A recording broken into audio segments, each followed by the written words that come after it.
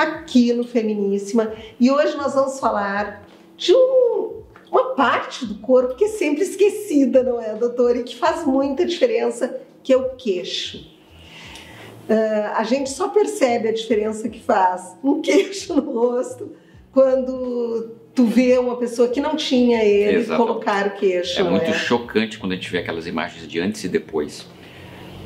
Ai, parece que a paciente assim diz, nossa, como. Parece que um queixo dá é mais é personalidade. Exatamente. Não é? Tá? Uh, no homem, que tem um queixo muito para dentro, hum. assim, uh, envolve uma questão até de, de virilidade. Sim. Assim. Normalmente a gente imagina aquele rosto masculino com o queixo bem Quadrado, projetado. Né? Mas no rosto feminino é importante também. Não existe mulher linda com o queixo para dentro. Tá? Então, assim, tem mulheres que são bonitas, com o queixinho um pouquinho retraído, mas todas as modelos, as mulheres que são consideradas com beleza acima da média, a gente vai reparar e o queixo ele é, ele tem uma Mais projeção harmônica com, com tudo. Quando a gente fala de queixo, nós estamos falando de da moldura do rosto, de perfil. Então, o queixo é analisado de perfil, Sim. é a principal medida do queixo, né? Mas também ele tem que ser proporcional à, à largura da mandíbula, tá? O queixo é a pontinha da mandíbula. Tá? Sim. Então, assim, esse osso que faz todo o contorno dessa parte baixa do rosto, a gente, aqui são os arcos da mandíbula, tá? E o queixo é a ponta disso, então tem que estar harmônico. Então, pessoas que têm a mandíbula mais larga, naturalmente o queixo pode ser mais projetado. As pessoas que têm esse rosto mais estreitinho, o queixo, se ele for muito projetado, vai dar uma, uma impressão estranha de, de, de, rosto muito alongado. Então, assim, tem, isso é extremamente é um jogo de proporções. A gente tem que fazer. Uh, e o caso mais clássico, assim, que as pessoas mais notam, é aquela pessoa que tem o queixinho para dentro, hum. faz um preenchimento ou coloca uma prótese de silicone e todo mundo nota que o rosto está mais harmônico. Pois é, eu acho que muda toda, acaba mudando toda a estrutura muda do rosto. Porque assim, é? quando a gente projeta mais o queixo, um pouquinho o lábio também vai. Claro. Então, assim, isso é uma coisa importante.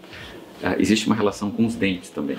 Então, assim, antes de fazer qualquer mudança no queixo, a pessoa tem que estar tá com a sua dentição encaixada. Então, às vezes, não é a especialidade do cirurgião plástico, não é saber se os dentes Sim. saber da parte ortodôntica, mas assim, ó, coisas mais grosseiras a gente nota. Então, claro. É comum a gente chegar, olha, tu tem que fazer primeiro o tratamento ortodôntico, colocar os dentes encaixadinhos no lugar, para depois a gente trabalhar o resto do teu perfil. Pode fazer concomitantemente, mas assim, o ideal é a pessoa estar tá com a sua com a sua arcada dentária no lugar, certinho. Em casos mais grosseiros, assim, às vezes é a primeira coisa que tem que ser feita. Sim. Fazer um tratamento ortodôntico, colocar os dentes no lugar, e aí projetar o queixo, tá? Harmonizar o queixo com o resto do rosto, tá? Tem a ver também com o nariz, né? hum. como é, uma, uma, é perfil, o nariz, lábio, nariz, lábio inferior, lábio superior, está envolvido também nisso. Tem que estar tá? tá tudo em harmonia, Tem que estar tá tudo em harmonia. Às vezes a gente vai ter que, para projetar o queixo, a gente vai ter que preencher também a mandíbula.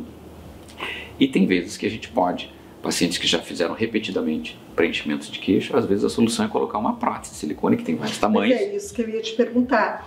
Esse, essa projeção, ela é feita como? Com preenchimento, com prótese? Dessas duas formas, tá? A gente pode colocar. Os preenchimentos são é, é a maneira mais comum. Hum. Tá? Uh, em casos onde a gente precisa de uma projeção um pouquinho maior, o paciente está tendo que fazer preenchimentos com bastante volume repetidamente, tá? Porque os preenchimentos duram um Sim, pouco tempo. Sim, a prótese tu coloca uma vez só. Uma vez só. E o preenchimento tu tem que fazer de dois em dois anos. Dois anos, dois anos no máximo, né? Então assim, né? E é um procedimento bem tranquilo de fazer, dá fazer até em consultório também. Ai, que interessante. O paciente acordadinho, a incisão é feita dentro da boca, a gente pode é. colocar, é uma cirurgia, ela é delicada, mas ela é bem simples de fazer. Então ela pode ser feita a nível ambulatorial pode. e com certeza ela promove uma mudança no indivíduo gritante, Bastante. não é? Isso tem que ser bem avaliado, tá?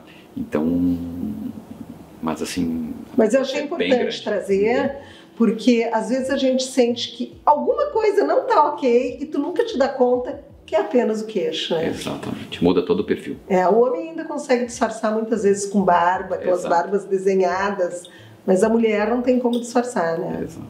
É isso aí, semana que vem nós estamos aqui com o Dr. Quivin, tirando mais dúvidas sobre cirurgia plástica.